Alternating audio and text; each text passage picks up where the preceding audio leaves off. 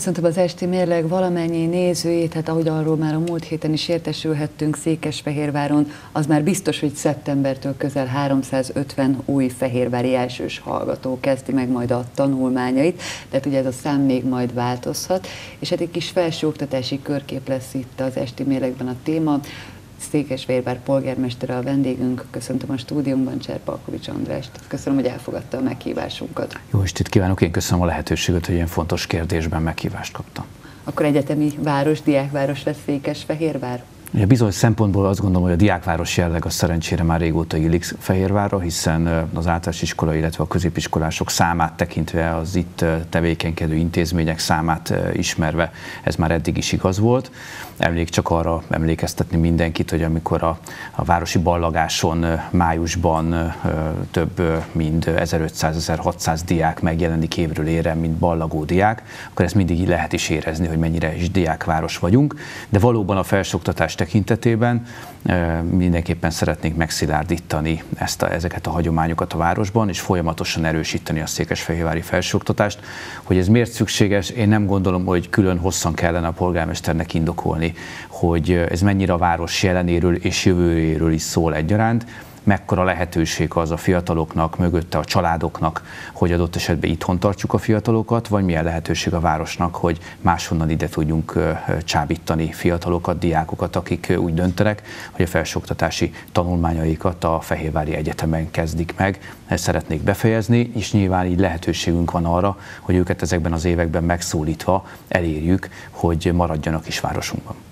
Mondjuk nyilván ezek a számok szépek, beszédesek, főleg például, hogy azt vesztük, hogy azért friss iskolákról van szó, már hogyha a Corvinus Székesfehérvári kampuszára gondolunk, de hát az Óbudai Egyetem Alba Régia műszaki kara is igen vonzó a fiatalok számára. Valóban így van. Érdemes azt gondolom, hogy azt a számot is elmondanunk, ami már igazán jellemzi ezt a felsőoktatást, hiszen itt most már több mint 1500 diákról beszélünk Fehérváron.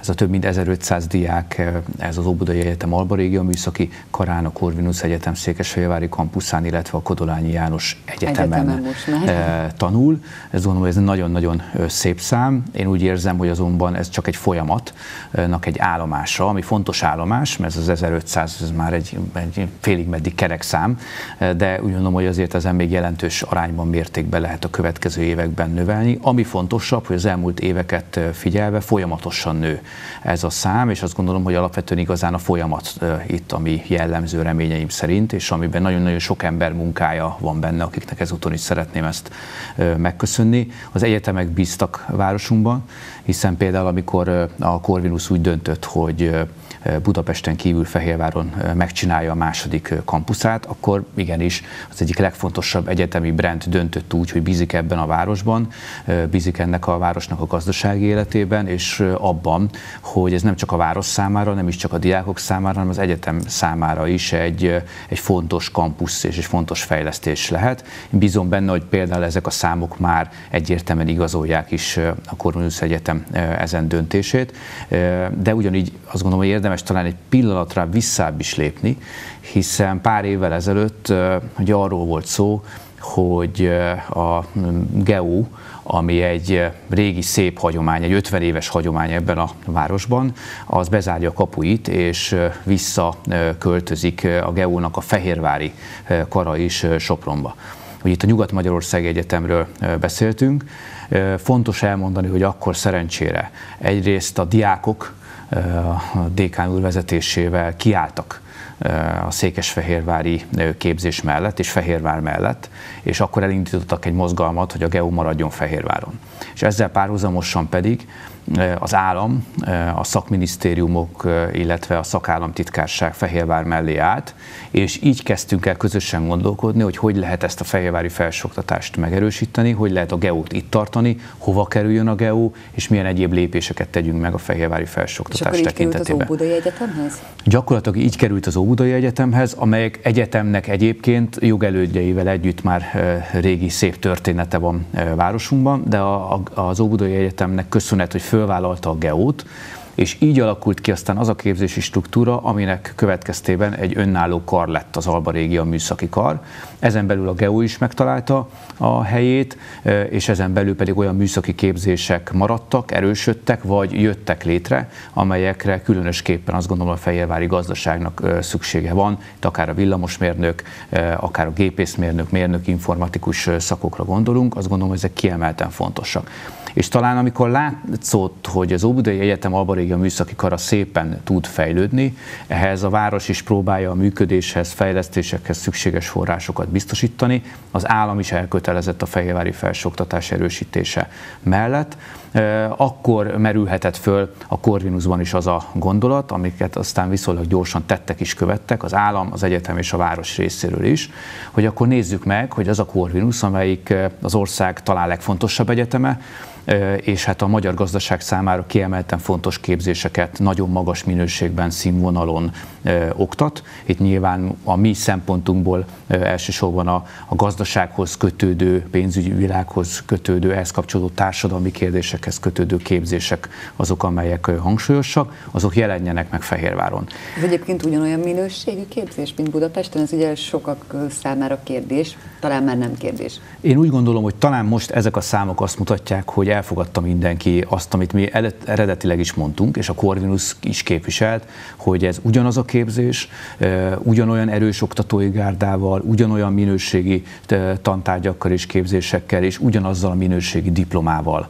Amit azért látunk a munkaerőpiacon, hogy egy, egy nagyon-nagyon értékes és nagyon-nagyon keresett diplomáról beszélünk, amin a Corvinus pecsétje rajta van, és e tekintetben teljesen mindegy, ugyanaz a pecsét lesz rajta a diplomán. Az oda vezető út is ugyanaz, hát a kérdéseket veti föl, nehézségeket támasztja a fiatalok elé, de a végén ugyanazt a minőségű diplomát fogják megkapni, tehát a munkaerőpiac tekintetében ugyanúgy komoly eséllyel fognak tudni indulni a igazán nagybetűs életbe, hozzátéve, hogy ez igaz, azt gondolom, hogy az Óbudai Egyetemre és igaz a Corvinusra is, hogy amiben pedig Fehérvár azt gondolom, hogy az egyetemek számára többletet tud adni, és ezáltal a diákok számára is, az pedig a duális képzés. Tehát aki a duális képzésben szeretne részt venni, az azt gondolom, hogy, hogy igazán csak a mi dolgunk, hogy eljutatva hozzájuk a, a, az információt, meghívást kapjon a Fehérvári felsőoktatásba, hiszen a duális képzési centrumunk már az országban az egyik legerősebb, legnagyobb, legtöbb diák diákot megszólító, és mögötte pedig a legtöbb gazdasági szereplő által támogatott képzési forma. Mikor néztem a számokat, ezt az 1500 diákot, akkor azon gondolkoztam, hogy vajon a duális képzése az oka annak, hogy mondjuk ezzel az 1500 diákkal azért nem olyan napi szinten szembesül az ember, mm, hiszen akkor ezek szerint ők dolgoznak? Hát igen, ugye ez egy speciális képzési forma, hiszen egyszerre egyetemisták, méghozzá nappali ö, ö, egyetemisták, de másodszorban pedig munkavállalói is egy-egy gazdasági szervezetnek. Ennek sok előnyével az egyén számára, legfontosabb, hogy rögtön gyakorlati tudást szerez, tehát amikor megkapja majd a diplomáját, akkor ő valóban egy kész szakember, és nyilván ennek megfelelően is fog tudni elhelyezkedni. De nyilván vannak bizonyos nehézségei, például, hogy egyszerre tanul és dolgozik, úgy van szabadsága, mint bármelyik munkavállalónak, tehát bizony ez egy nehéz képzési forma, de azért az a tapasztalat, hogy egy nagyon jó és eredményes képzési forma is. De emellett természetesen azért egy számot el kell érni ahhoz a városban, hogy az meglátszódjon egy nagyváros mindennapjaiba. Én úgy gondolom, hogy ezért ebben az évben már lehetett érzékelni, hogy itt egyetemisták élnek, dolgoznak, hétköznap adott esetben szórakoznak, mert hát azért a diák évekhez azt gondolom, hogy teljesen törvényszerűen ez is hozzátartozik, hiszen hogyha a Petőfi kultúrtanszéket nézzük, különböző egyetemi bulikat, rendezvényeket nézzük, azt, hogy a hagyományok itt vannak a, a városban, amik akár a, a geóhoz is erősödnek, valétálnak, tehát azt gondolom, hogy ezek nagyon-nagyon szép dolgok. Most is egyébként gondolkodunk az egyetemekkel és a diákokkal közösen olyan kezdeményezések elindításában, amelyek igazán a hagyományokat pedig megteremtik, hiszen ezek a hagyományok ahhoz, hogy azzá váljanak, először el kell, hogy induljanak, ez úgy érzem, hogy most már az 1500 fős diák létszám az, az már kellően nagy ahhoz, hogy ezt a diák életet tényleg ki lehet alakítani, nem elfelejtve, hogy amikor az idei 350 főről beszélünk, akkor ez még reményeim szerint gyarapodni fog, növekedni fog. Ezúton is kérek, biztatok mindenkit, hogy az augusztus 6-ai határnapot is figyelembe véve, de a pótfelvételi eljárásban a jöjjön Fehérvára. 350-en már mondhatnám, hogy jól döntöttek. Én bízom benne, hogy ők az ő számuk még nappal is diákként is emelkedni fog olyan kedvezményeket vehetnek igénybe, mondjuk ha a Corvinusra tekintünk, hogy egy 10%-kal kevesebb az itteni költségtérítés, mint a budapesti Corvinuson. Én úgy gondolom, hogy családnak ez is ez nagyon-nagyon nagyon fontos. Azt abszolút szerintem. megérzi, hiszen itt azért komoly költségtérítésekről van szó de egyúttal azért bízunk benne, hogy ez a szám valóban még emelkedni fog, meg fogja haladni a 400-at is. Egyébként bizonyos szempontban már meghaladja, hiszen amikor 350 főről beszélünk, akkor a nappali diákokról, nappalis diákokról beszélünk. Ebben nincsenek benne az egyéb képzési formában résztvevők, tehát ez már most is jóval magasabb ennél a, a számnál, de ha az volt a kérdés, hogy a, a mindennapok hangulatában hogy jelennek meg a diákok, és a diákok a fiatalok által hozott fiatalos hangulat, akkor ott persze a nappolis diák az, akire e tekintetben azt gondolom, hogy elsősorban számíthatunk. Ugye beszéltünk erről a három szakról, meg beszéltünk arról is, hogy augusztus 6-ig van a pótfelvételének a határideje, de az is hagyomány már, hogy Székesfehérvár mondjuk a másod, mondjuk például Pécset tanuló diákokat is segíti. Igen, ez így van, hiszen egyrészt olyan képzésekre is jelentkeznek fejévári fiatalok hozzáteszem szerencsére, amelyek más jellegű képzések más egyetemeken találhatók meg.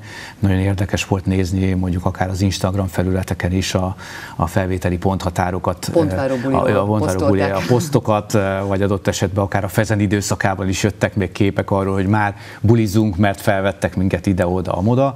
Nagyon sokan küldtek egyébként nekem üzenetet, hogy őket mondjuk orvosi egyetemre, vagy bölcsészkarra vették föl, vagy jogásznak mentek, de ők vissza fognak térni Fehérvára. Legyen így, én ezt, ezt kívánom, hogy végezzék el az egyetemet, érezzék nagyon jól magukat más városokban, de utána térjenek haza az otthonukba Székesfehérvárról. Azt gondolom, ez ugyanígy igaz, mint hogy szerencsére azt látjuk, hogy nő azoknak a hallgatóknak a száma, akik teljesen máshonnan, akár az ország más részeiről érkeznek a fehérvári felsőoktatásba, és kezdik el tanulmányaikat mondjuk szeptemberben itt Székesfehérváron, őket meg nagy szeretettel várjuk, remélem, hogy nagyon jól fogják magukat érezni, és még egyszer biztatok mindenkit, aki még gondolkodik, hogy a következő napokban mit tegyen a pótfelvételivel, hogy válassza Fehérvárt, válassza a fehérvári felsőoktatást. Én köszönöm szépen, hogy elfogadta a meghívásunkat. Hát, hogyha más nem, akkor a, a nyárbúcsúztató mindenképpen találkozhatnak majd itt a fehérvári fiatalok egymással, hiszen az akár egy ilyen ö, szeptemberi évkezdőbuli is lehet, ami már hagyomány lesz a városban, hogy nem csak a nyárindítót ünnepelhetjük együtt, hanem a nyarat is együtt ö, búcsúztathatjuk. Igen, és ez milyen jó, mert ott meg itt találkozhatnak egymással a középiskolás, illetve az egyetemista diákok, azt gondolom, hogy ez is fontos. Emellett szeptember elején ugye egy tanévnyitó fogjuk köszönteni az elsős hallgatókat, és hát idén ez már akkora szám, hogy ezt nem a Városháza tisztelmében tartjuk, mert hogy azt szerencsére kinőttük, hanem a Vörös Marti Színháznak a, a nagy termébe, ahol nagy szeretettel várunk minden egyetemistánkat, hozzátéve, hogy remélem, hogy pár év múlva pedig kinőjük a Vörös Marti Színházat, és megyünk tovább, és ha megépül az új rendezvénycsarnok, akkor majd egyszer az is megtellik Fehérvári egyetemistákkal. Köszönöm szépen még egyszer, hogy itt volt. Köszönöm a lehetőséget. Nézőinknek pedig megköszönöm a figyelmüket, ne felejtjék, akkor tehát augusztus 6-ig van még lehetőség a pótfelvételire. Részletekről tájékozódhatnak a Fehérvár Televízió honlapján, hírműsorunk archívanyagaiban is. Köszönöm, hogy itt voltak, viszontlátásra!